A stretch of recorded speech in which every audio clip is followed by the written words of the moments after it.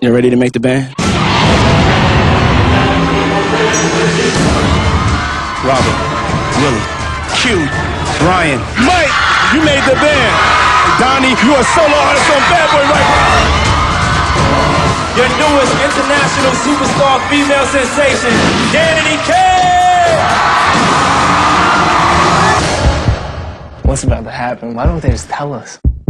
All three of y'all are working on albums at the same time. Three albums all at the same time? Who's ready? All right, let's go. Whoever comes up with the hottest record gets the track. Yeah, yeah. You sound good. Clearly, Diddy already says we're his favorite. Whoa. You guys realize you're ready with Danity Kane. Hey, y'all please don't take this ass super seriously. It's just business.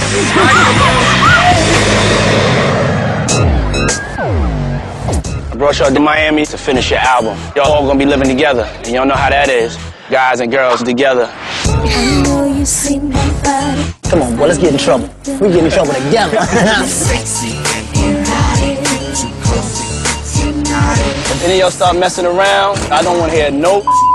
This is so up. Is this your girlfriend? I'm at a stage in my life where I'm dating different girls. You are so shady. Now's when the fun begins. Welcome to Drama House. I wish I never came, dog. This is up. No one wants to upset Puff. No bitch assness will be allowed at Bad Boy.